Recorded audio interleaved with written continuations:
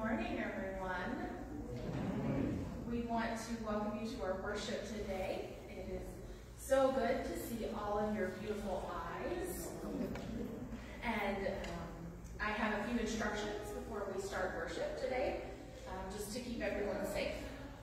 Um, we do require you to keep your masks on at all times, um, except when you are having communion. Um, we ask you to keep socially distanced while you're in the building. There will be no congregational singing during the service. Um, all music will be either instrumental or by soloists or small ensembles, but we encourage you to come along. When it is time for communion, we ask that you follow the instructions of the ushers. Uh, maintain a safe and social distance between yourselves as possible. After you have the bread and the wine, there is a trash can at the end of the table where you can throw away your trash. Um, speaking of communion, for those that weren't able to come to any of our outdoor communion services, um, the wafer and the wine are all in the same packet. Um, the wafer is on top with a little small cellophane cover, and then the larger cover foil opens the wine. So you should only need one packet for that. At the conclusion of the service, we ask that you remain seated until the ushers come and dismiss you and head outside. Remember, if possible, to print your own bulletin or to use your own device within this service. Um, we do have some paper copies available, and you can find the bulletin in the Friday sheet buzz that goes out. Online sign up for our worship services will continue to be necessary. Um, a link will be sent to you every Monday before noon or by noon. Um, we ask that since you were able to attend this service, um, if you wait a little later next week to give other people an opportunity to sign up. Please note that if you sign up as a worship servant, so registration, temperature taker, usher, that counts as your seat in worship, so you do not need to register as a participant. If you're bringing your family and they are not serving as a servant, um, please register them under participants. We will be offering outdoor communion each Sunday on the back porch behind the fellowship hall from 9.45 until 10.30. We are always looking for volunteers to help with this ministry. Middle school youth group will meet next Sunday, May 16th at 12.30 p.m. here at the church. Masks will be required, um, and please see your email for more information and the forms needed. Coffee and Conversation Adult Sunday School class will be meeting on Mondays via Zoom, 7.30 to 8.30 p.m. The class will meet throughout the summer, so if you would like to be involved, please contact Janice Wentford for more information. If you are interested in helping with Sunday school in the fall or helping us plan for Sunday school in the fall, um, Janice is putting together some optimistic plans for August, so if you would like to help with that, please contact her. Did you miss Consecration Sunday for your pledge to the church? If not, if yes, we have you covered. Please feel free to drop off your stewardship pledge form to the church when you come for worship or communion, or throughout the week, you can place them in our mailbox. We thank all of you for your support of these ministries. I can't believe it, but it's time for graduation already. This year, we have created a graduate recognition board that is displayed in our entryway that features highlights from all of our seniors. We will be holding a graduate recognition link and blanket blessing on Sunday, May 23rd. What you can do to help us is we are collecting cards for each of our seniors from the congregation. Each of their names can be found in your bulletin today, and we ask that you please return those cards by May 16th. Now that we have begun worship together, we are hoping to add some beauty to our sanctuary with flowers. Altar flowers can be purchased for each Sunday. Cost and sign-up information can be found in your bulletin. We ask you to mark your calendars for Pastor Paul's final service on Sunday, May 30th at 10.30 in the morning. This service will be outside in the parking lot, similar to our Easter worship. You will have received an email that features a box lunch ordering form from McAllister's Deli. Please make sure to submit all of your orders by Friday, May 14th. Information on meal choices and the link to order can be found in your bulletin and on our website.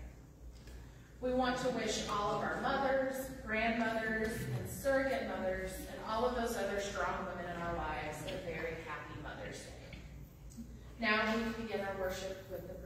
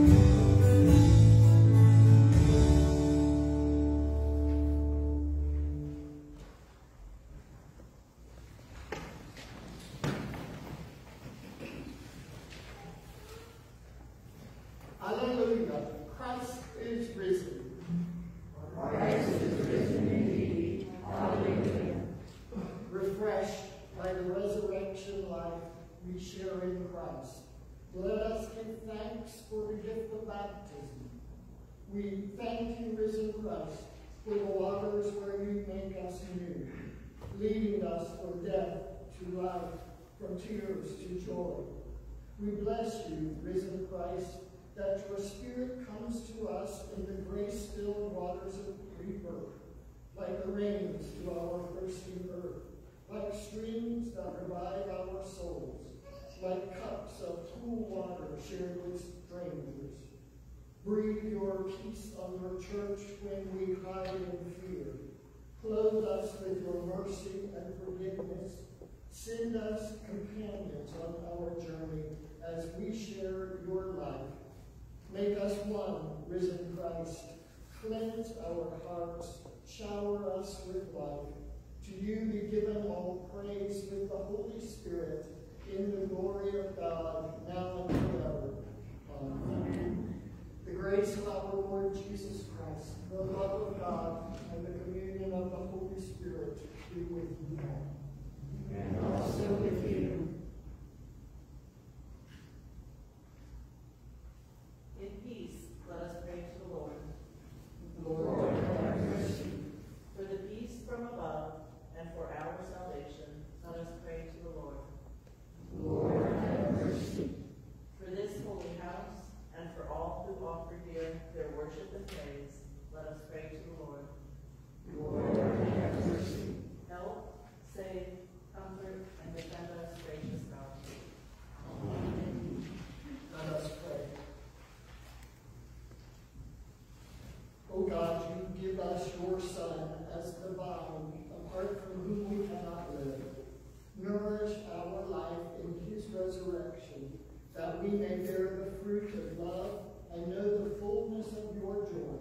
Through Jesus Christ, our Savior and Lord, who lives and reigns with you and the Holy Spirit, one God, now and forever. Amen. Amen.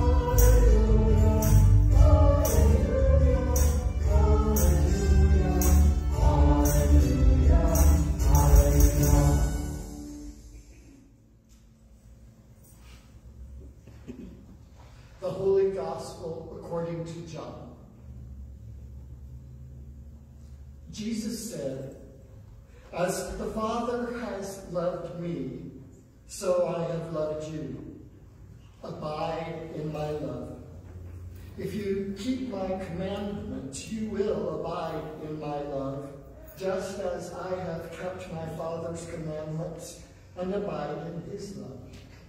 I have said these things to you, so that my joy may be in you, and that your joy may be complete. This is my commandment, that you love one another as I have loved you. No one has greater love than this, to lay down one's life for one's friends. You are my friends if you do what I command you. I do not call you servants any longer, because the servant does not know what the master is doing. But I have called you friends, because I have made known to you everything that I have heard from my Father. You did not choose me, but I chose you. And I appointed you to go and bear fruit, fruit that will last so that the Father will give you whatever you ask him in my name. I am giving you these commandments so that you may love one another. The Gospel of the Lord.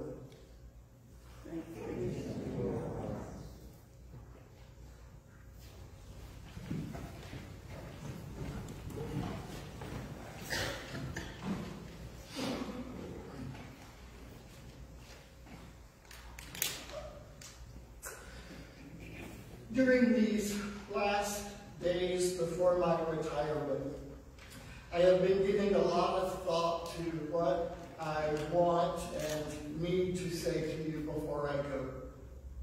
Of course, there will be a lot of I love yous, because that has always been true from the moment I arrived here in January of 2004.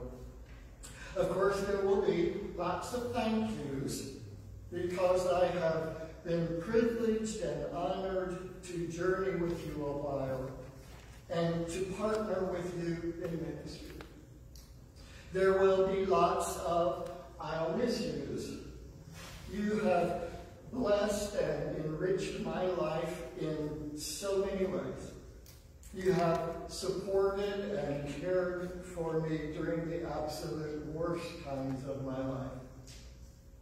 But what else should I say? Should I give you the top 10 things never to say to your new pastor? Things like, that's not how Pastor Paul did it. Or Pastor Paul said, or would you mind if we asked Pastor Paul to do that instead of you? Your complete allegiance must be to your new pastor. Perhaps I could list for you the top 10 things to make the coming transition a disaster. Things like holding on to the past, or letting your giving and attendance drop, or thinking that only a white man could be your pastor. Perhaps I should tell you what I plan to do in my retirement. Like, I plan to get Debbie's knee finally replaced. I plan to unplug my alarm clock and turn off my cell phone and read to my heart's content and take regular naps and try to get back on an exercise routine. Perhaps I should tell you the top 10 things you should do to make your transition great. Things like trust God and pray for and open yourselves to the work and power of the Holy Spirit. And love your new pastor as you have loved me or more. Or if you didn't love me at all, love them. Our gospel reading today is an excerpt from Jesus' last conversation with his disciples. It happened on Maundy Thursday, which we celebrated fairly recently. Jesus shared the Passover meal with his disciples as his last meal.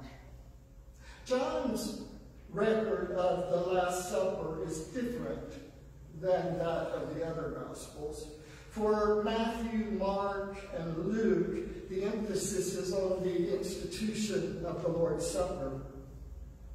In John's Gospel, during the meal, Jesus washed the disciples' feet and foretold the coming betrayal and denial by his disciples.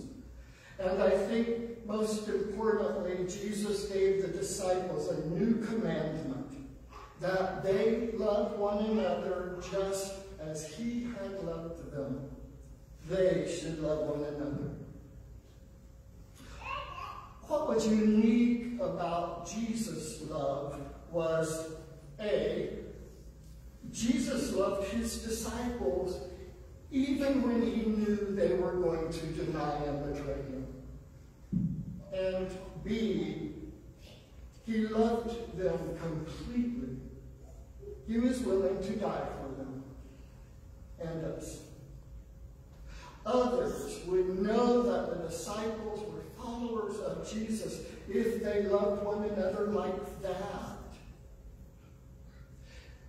Then for the next four chapters of John's Gospel, Jesus taught and prayed for his disciples. Within that discourse, Jesus' final conversation with his disciples, he said some things that are also things I want to say to you. Not that I in any way see myself as a Jesus figure or think my departure is anything like Jesus' departure. Jesus left to be crucified. I'm leaving to rest.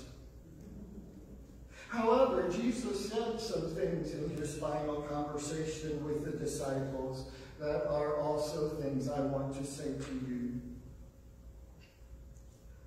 Do not let your hearts be troubled. Believe in God. Believe also in Jesus. Jesus is the way and the truth and the life. If you know Jesus, you know his Father. Very truly I tell you, the one who believes in Jesus will also do the works that he did, and in fact will do greater works. If you love Jesus, you will keep his commandments. Jesus will not leave you orphaned. He is coming to you.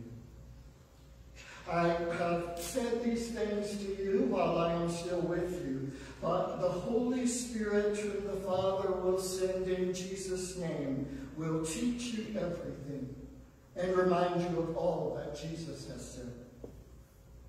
Do not let your hearts be troubled, and do not let them be afraid. Abide in Jesus as he abides in you. You are friends of Jesus if you do what he commanded you. Those who abide in Jesus and he in them bear much fruit. You did not choose Jesus. Jesus chose you. When the Spirit of truth comes, he will guide you into all the truth. Take courage. Jesus has conquered the world. Jesus prayed, I ask not only on behalf of these, but also on behalf of all those who will believe in me through their word, that they may all be one. That's what Jesus was all about. And he didn't want the disciples to miss it or forget it. It was his last chance to put an exclamation point on it. I wonder what you would say, I have been all about. In these past 17 years as your pastor, what would you say that I didn't want you to miss or forget?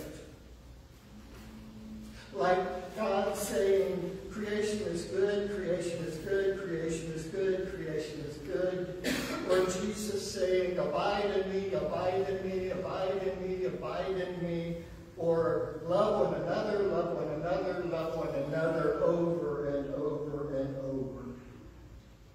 What have I said over and over and over about God, about Jesus, about the Holy Spirit, about neighbors, or about creation? You can make your own list. Amen.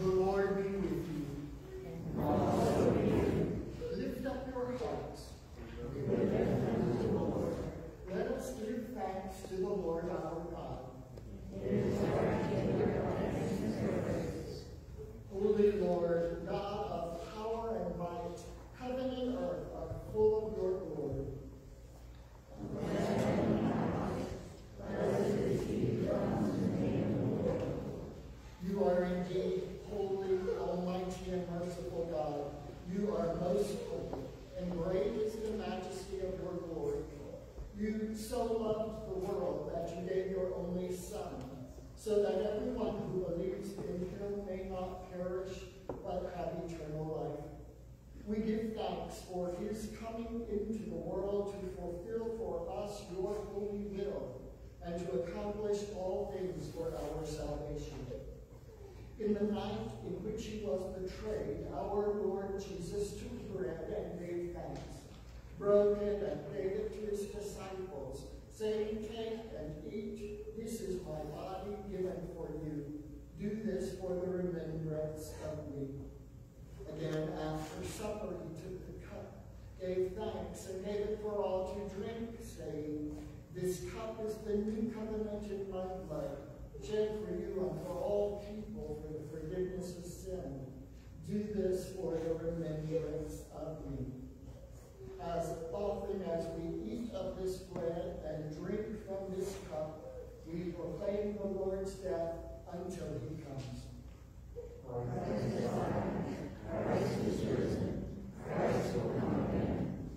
Remembering therefore his salutary his life-giving passion and death, his glorious resurrection and ascension, and the promise of his coming again, we give thanks to you, O Lord God Almighty, not as we ought, but as we are able.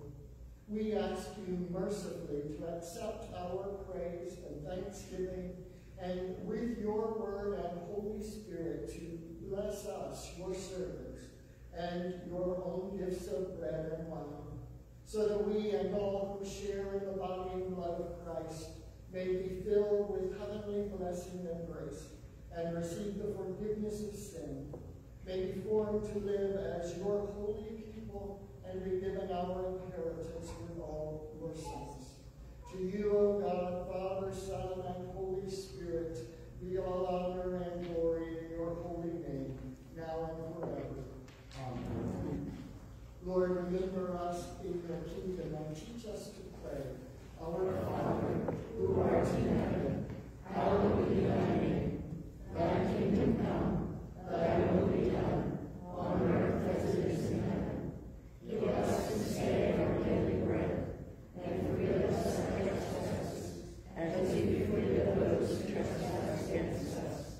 And lead us not into temptation, but deliver